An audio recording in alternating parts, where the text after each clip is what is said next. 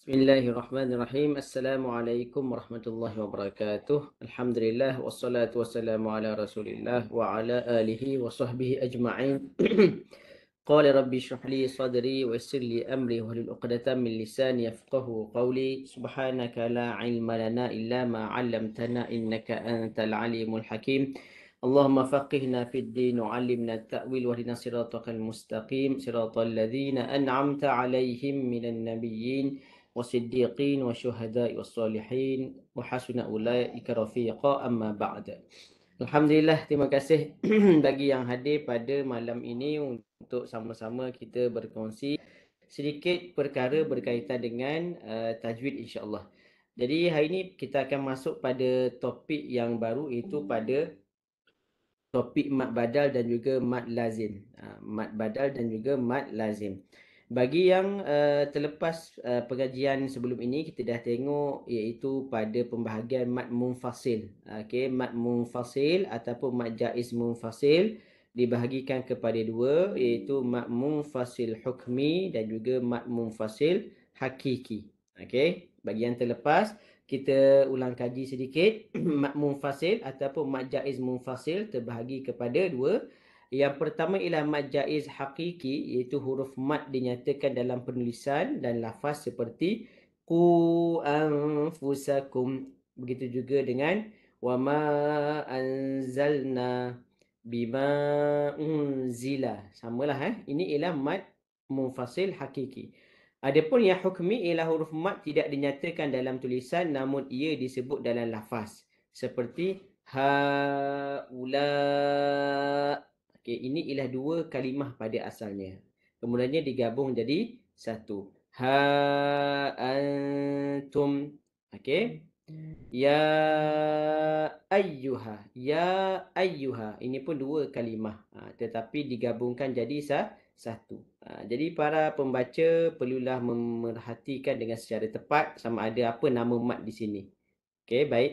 Ini ialah dua bahagian mat munfasil hakiki dan juga hukmi. Kadarnya ialah empat dan juga lima harakat. Jadi kita di sini ada dinyatakan kita ialah mengikut Tariq Syatibi. Okey.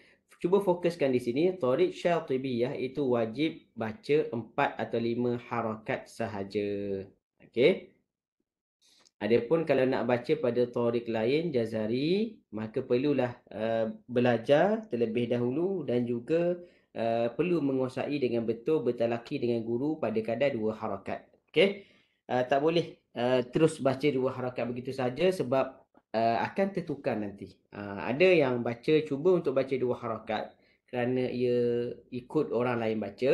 Okey. Tapi ending dia ialah mat wajib pun kadang-kadang tertukar dibaca dengan kadar dua harakat. Ha, bukan mat munfasil saja, mat mutasil pun dibaca sebanyak dua harakat. Maka itu ialah salah. Okey.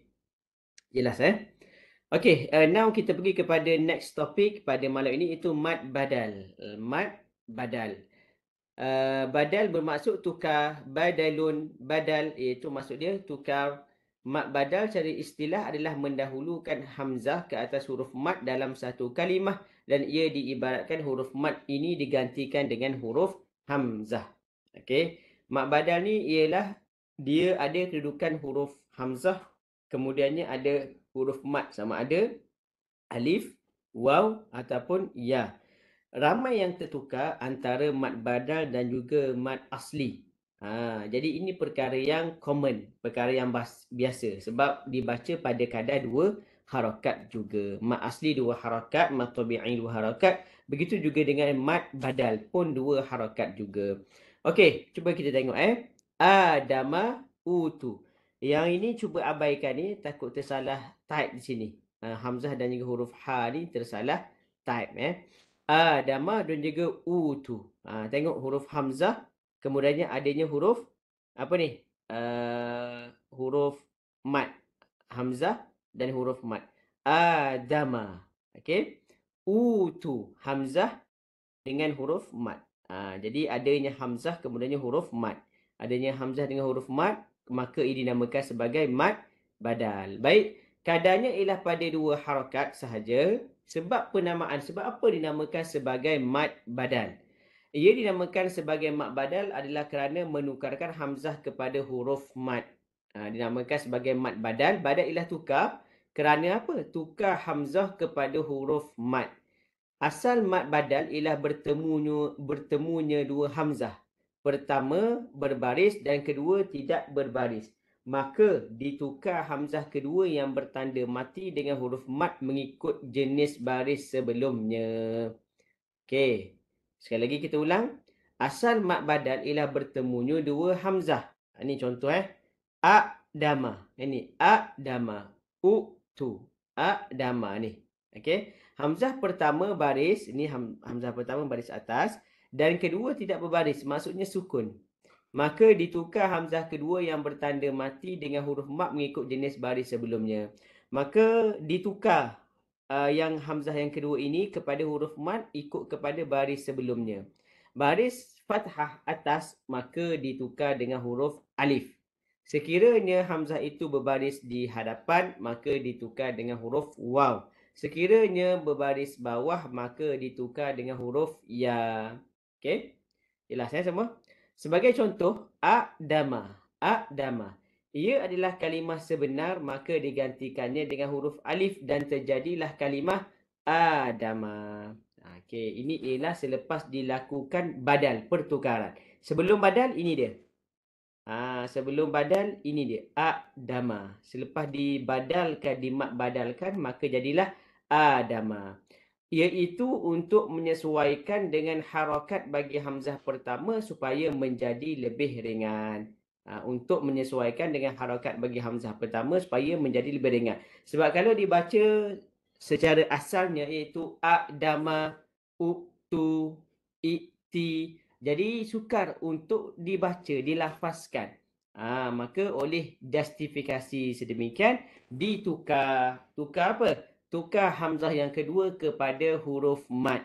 Ha, maka jadilah adama utu iti. Ha, okey.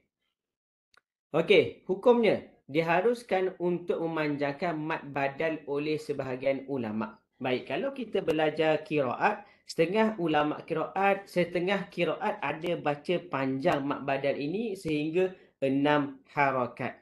Ha, paling pendek ialah dua harakat. Tetapi paling panjang, dia boleh pergi sampai enam harakat. Ha, jadi bagi siapa yang pernah bertalaki dengan riwayat yang lain, kiraat yang berbeza, maka akan jumpa mat badal yang dibaca dengan panjang. Ha, tak silap saya mungkin riwayat haf, uh, riwayat warsh ada dibaca dengan panjang pada mat badal dengan enam harakat. Okay. Kita uh, riwayat hafs, hafs dia baca dua harakat sahaja. Uh, adama, utu, iti. Okay. Okey, next kita masuk persamaan mad badal. Apakah persamaan mad badal? Iaitu didahulukan huruf hamzah ke atas huruf mad dalam satu kalimah dan tidak berlaku pertukaran antara huruf mad dengan hamzah seperti mad badal yang asal. Okey, namun ia juga dinamakan sebagai mad badal disebabkan terdapat persamaan pada gambaran yang umum. Okey, ulang sekali lagi supaya kita faham iaitu didahulukan huruf hamzah okey ke atas huruf mat dalam satu kalimah. Ha ni kan. Mana dia huruf hamzah? Ha ni. Wa ba u u okey dalam satu kalimah. Dham anu la ya usun okey didahulukan huruf hamzah ke atas huruf mat dalam satu kalimah dan tidak berlaku pertukaran antara huruf mat dengan hamzah seperti mat badai yang asal ia tidak berlaku pertukaran. Namun ia juga dinamakan sebagai mak badan disebabkan terdapat persamaan pada gambaran umum. Maksudnya bukan asalnya waba'u. Ha, bukan asalnya dham'a'nu. Bukan asalnya laya'u sun. Ha, tetapi ia secara umumnya sama maka dinamakan juga dengan mat badal. Boleh faham eh? Ha, jadi dia bukan sebab berlakunya pertukaran tetapi sebab terdapat persamaan secara general, secara umum. Waba'u bi ghadabin min Allah. Nah, contohnya kan. Jadi ini ialah mat badan. Hamzah bertemu dengan huruf waw. Dham'anu ma'an hatta dham'anu dua harakat. La ya'usun kafur. Ha, jadi usun, usun, maka ini ialah mad badal. Keadaan mak badal serta jenis yang serupa dengannya dari sebutan dan tanpanya. Bersambung bacaan dan tempat berhenti bacaan. Okey, ada keadaan mak badal serta jenis yang serupa dengannya dari segi, dari segi sebutan dan tanpa tanpa sebutan. Bersambung bacaan dan tempat berhenti bacaan. Ha, kat sini dia kata ada mak badal yang berbeza pada ketika mana wakaf. Ada yang tidak berbeza ketika mana wasol. Ha, jadi kita akan tengok uh, satu persatu dalam dalam contoh yang diberikan di bawah ini. Okey, cuba kita tengok eh mat badal eh. Okey, dia kata mat badal bersifat tetap, kekal dalam keadaan wasal, yakni bersambung dan waqaf bacaannya seperti berikut. Maka sama keadaannya ambiuni. Ha, jadi kita nak sambung ataupun kita nak wasal uh, ataupun kita nak waqaf maka bacaannya sama sahaja. Faqala ambiuni bi asma'iha ulai kuntum sadiqin. Itu contoh pada kita wasal. Kalau contoh untuk kita waqaf sama sahaja bacaannya. Faqala ambiuni jadi kita wakaf dalam keadaan yang sama. Ia bersifat tetap ataupun kekal. Okey, yang kedua ialah mat bada bersifat tetap dalam keadaan wakaf yakni berhenti sahaja bukan apabila wasal bersambung. Ha, dia jadi mat badal apabila dalam keadaan wakaf sahaja. Okey. Bukan apabila wasal. Ha, kalau wasal dia tak jadilah. Ha, kalau wasal dia tidak jadi. Ha, contoh doa doa wa nidaa. Okey. Yang ketiga ialah mat badan bersifat tetap ketika wasal bersambung saja bukan apabila waqaf yakni berhenti. Ma'ab. Okey. Maka mat pada huruf alif itu ketika waqaf yakni berhenti telah menjadikannya sebagai mat arid li sukun bukan lagi mat badan. Okey, jadi dia kata di sini nombor tiga cuba tengok eh. Mat badan dia bersifat tetap ketika wasal. Kalau nak sambung maka ia akan jadi mat badan. Kalau waqaf maka dia tak jadi mat badan. Okey, maka mat pada huruf alif itu ketika waqaf telah menjadikannya sebagai man arid lis sukun bukan lagi mat badal. Okey, yang atas ni jadi mat badal dua-dua waqaf dan juga wasal. Nombor tiga ni dia jadi mat arid lis sukun. Ha, ma'ab la husna ma'ab. Jadi kalau kita waqaf maka bacaan yang panjang nama hukumnya ialah mat arid lisukun boleh baca 2 4 dan juga 6. Sekiranya kita nak sambung ma'abin wallah contoh eh la husna ma'abin wallahu la ha, contoh. Jadi apabila kita nak sambung barulah dia jadi mad badal. Okey, mad badal. Apa tanda mad badal? Adanya hamzah, kemudiannya adanya huruf mad. Ha ini eh. Siapa datang dulu? Hamzah datang dulu, kemudiannya barulah huruf mat. Okey, jelas eh? Okey, yang terakhir sekali mat badal bersifat tetap ketika permulaan bacaan sahaja. Ha, masa mula sahaja. Ha, ia jadi uh, tetap kekal. Dan ia apabila Hamzah pertama merupakan Hamzah wasal dan Hamzah kedua ialah Hamzah kotok. Okey, ini keadaan yang rare sikit. Ha, dalam Quran tak banyak. Ha, dalam Quran tidak banyak. Okey, seperti dalam surah Al-Ahqaf itu ni. Ha, dia jadi mak badal ketika mana kita nak mula bacaan sahaja. Jangan baca itu ni. Ha, siapa yang baca itu ni maka salah bacaan tersebut. Ha, ni keadaan rare. Sebab apa? Dia ada hamzah wasal, kemudiannya ada huruf hamzah. Okey. Jadi dibaca gua mana? Itu ni. Ha, itu ni. Begitu juga dengan suratul Baqarah ayat ke-283 Utumina. Ah, utumina. Utumina. Okey, utumina. Di mana menggantikan hamzah bertanda mati itu dengan huruf mat ketika ingin memulakan bacaan. Okey, kita ganti hamzah yang bertanda mati. Mana tanda mati ni dia? Hamzah bertanda mati ni. Ini. Okey. Ganti dengan huruf mat ketika ingin memulakan bacaan. Ini khusus ketika berlakunya ada huruf hamzah wasal di hadapan. Ituni utumina ituni bi kitab ituni bi kitab utumina utumina okey utumina amanatahu wal yattaqillaha rabbah ha, kalau yang kalau kita nak wasal فليؤدي الذي اؤتمن أمانته وليتق الله ربه tapi kalau kita waqaf sebelumnya kita nak was kita nak ibtidak daripada sini utumina ha, utumina boleh faham eh ha, ini keadaan yang rare sikit dan juga jangan bimbang dalam Quran tidak ada banyak ha, jadi kita boleh define lah Antaranya yang pertama ialah surah Al-Ahqaf ayat keempat. Yang kedua ialah suratul Baqarah ayat ke-283. Okey, ini ialah bahagian mak badal. Dan juga uh, kalau tertukar antara mak badal dengan mat asli, itu perkara yang normal. Tidak ada masalah kita keliru dari sudut teori. Okey, tapi dalam bacaan, betul. Ha, jangan dalam bacaan sah, salah.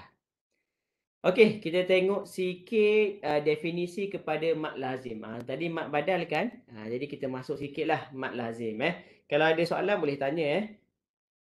Assalamualaikum Ustaz. Tanya satu Ustaz. Waalaikumsalam. Silakan Pak Lang. Uh, para dua tu yang di atas sekali tu. Uh, doa, doa uh, tu yang yang mak badannya uh, Hamzah yang dengan tanwin tu ya Ustaz? Ya, yeah, betul. Oh. Ha, ya betul. Tapi keadaannya berbeza sebab ha, alif datang dulu lepas tu barulah hamzah.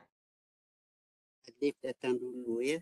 Ha, cuba Puan Lan tengok. Yang lain semuanya hamzah datang dulu lepas tu barulah huruf mat. Eh, ini huruf mat datang dulu lepas tu barulah hamzah. Hmm. Okey, tapi dinamakan mat badal lah untuk yang ya, ni kan. dinamakan juga mat badal. Betul. Ya, Terima kasih Ustaz. Okey, sama. Okey, kita tengok sikitlah definisi kepada mak lazim. Duk sebut-sebut mak lazim apa mak lazim ni? Tadi mak badal kita dah tahu eh. Badal maksud dia tukar. Okey, tukar apa kat sini? Tukar huruf hamzah kepada huruf mat. Okey, clear. Sekarang ni kita tengok mak lazim eh secara umum lah. Okey, mak lazim berlaku pada sukun asli yang terletak selepas huruf mat. Sukun asli ni maksud dia apa? Huruf yang berbaris mati. Okey. Yang asalnya sedemikian. Ha, okey, bukannya ia dibuat-buat kerana wakaf ke, kerana nak boleh baca ke dan sebagainya lah. Jadi ia ialah sukun yang asal yang terletak selepas daripada huruf mat atau huruf lin. Huruf mat alif waw ya, huruf lin waw dan juga ya dalam satu kalimah atau huruf-huruf permulaan surah ketika berhenti dan sambung bacaan yakni waqaf dan juga wasal. Okey, jadi nak beritahu di sini mat lazim berlaku dalam kalimah dan juga berlaku pada huruf. Ha, jadi jadilah dia mat lazim kalimi.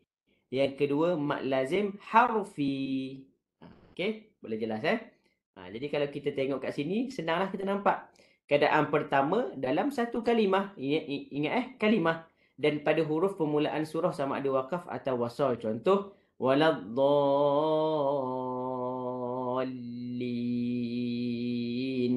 Ha, boleh? Berapa harakat baca? Enam harakat. Okey. Sukun asli do terletak selepas daripada huruf huruf mat. Eh. Do alif lepas tu lam. Lam ni kan ada dua lam yang mati satu, lam yang baris bawah satu. Waladdallin. Okey. Qaf. Sad. Okey, ini juga berlaku uh, qaf, qaf, alif, qaf. Qaf alif fa. Minta maaf, qaf alif fa. Sod, sod, alif, dal. Okey, keadaan kedua, huruf mat akhir kalimah bertemu sukun asli. Sekiranya bersama bacaan, dihilangkan huruf mat dan jika berhenti bacaan, dipanjangkan bacaan huruf mat seperti biasa. Wastabaqal bab wa qalu takhadh wal muqimis salah.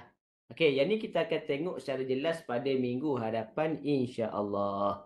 Okey, cumanya pada hari ini kita nak beritahu bahawa huruf mat lazim ni ialah uh, keadaan mat lazim ni ada dua. Yang pertama berlaku dalam kalimah, yang kedua berlaku pada huruf. Jadi mat lazim kalimi, yang kedua mat lazim harfi. Itulah yang kita akan belajar pada minggu akan datang. Mat lazim kalimi mustaqil ataupun mukhaffaf, mat lazim harfi mustaqil ataupun mukhaffaf. Okey. Jadi itu sahaja untuk malam ni kita talaki suratul a'la bersama-sama insya-Allah. Okey. Uh, semua boleh tengok di hadapan ataupun boleh buka al-Quran masing-masing. Kita tengok okey cara bacaan ataupun kita talakilah surah al-a'la. Okey, dah bersedia semua kita baca sedikit soal a'la bersama-sama. Uh, untuk bacaan yang pertama kita baca secara biasa, secara tadwir, iaitu bacaan pertengahan. Tidak terlalu laju, tidak terlalu perlahan. Uh, sekejap lagi kita cuba bacaan versi yang laju. Uh, sebab maklumlah kalau kita jadi imam ataupun kita bawa bacaan dalam solat, kita baca soal a'la, maka biasanya kita akan baca dengan hadar, baca laju sedikit. Uh, supaya apa? Supaya cepat habis dan juga meraihkan makmum-makmum yang ada di belakang. Okey.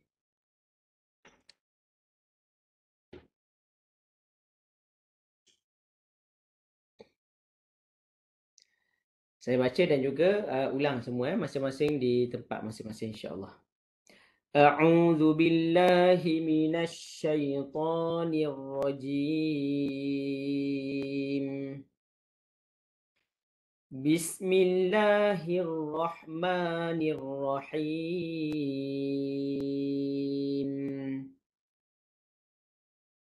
سبح اسم ربك الأعلى الذي خلق فسوى والذي قدر فهدى. والذي أخرج المرعى. فجعله غثاء أحوى. سنقرئك فلا تنسى. إلا ما شاء الله. إنه يعلم الجهر وما يخفى. ونيسرك لليسرى.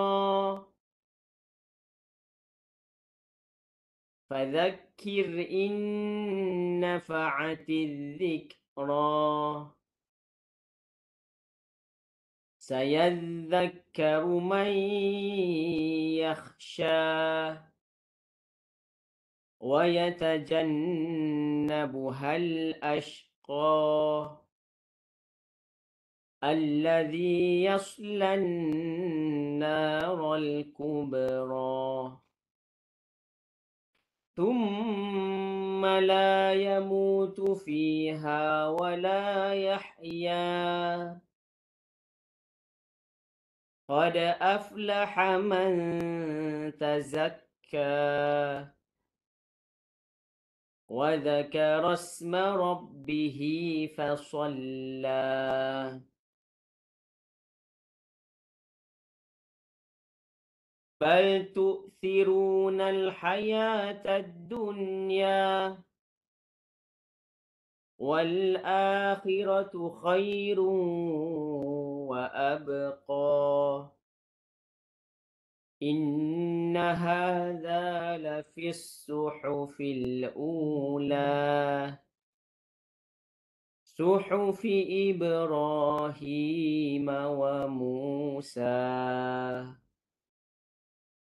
Sadaqallahul Azim. Okey, kita cuba baca versi yang laju sikit. Kita wasalkan beberapa tempat eh. Kita sambungkan.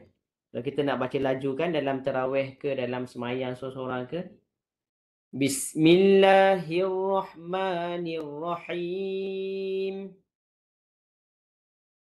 سبح اسم ربك الأعلى الذي خلق فسوى والذي قدر فهدى والذي أخرج المرعى فجعله غثاء أحوى سنقرئك فلا تنسى إلا ما شاء الله. إنه يعلم الجهر وما يخفى. ونيسرك لليسرى فذكر إن نفعت الذكرى. سيذكر من يخشى ويتجنبها الأشقى الذي يصلى النار الكبرى. ثم لا يموت فيها ولا يحيا. قد أفلح من تزكى وذكر اسم ربه فصلى. بل تؤثرون الحياة الدنيا والآخرة خير وأبقى إن هذا لفي الصحف الأولى صحف إبراهيم وموسى صدق الله العظيم Jadi kita boleh baca dengan laju ataupun dengan perlahan Yang penting kesemua tahap bacaan kita itu ada tartil. Tartil maksudnya bertajwid. Okey. Baik, ada siapa-siapa yang nak baca di sini jangan malu-malu boleh baca. Uh, Polang nak baca? Atira Asriani? Ada yang nak baca, nak bertalaki ke? Assalamualaikum Ustaz. Minta Asriani baca Ustaz, boleh? Boleh. Kalau ada, boleh. Tidak ada masalah. Pak Ustaz. boleh, boleh insyaAllah. Teruskan bacaan. أعوذ بالله من الشيطان الرجيم بسم الله الرحمن الرحيم سبح اسم ربك الأعلى الذي خلق فسوى والذي قدر فهدى والذي أخرج مرعى. أخرج المرعى. والذي أخرج المرعى فجعله غثاء أحوى. سنقرئك فلا تنسى. إلا ما شاء الله. إنه يعلم الخ... إنه يعلم الجهر وما يخفى. ونيسرك لليسرى. فذكر إن نفعت الذكرى.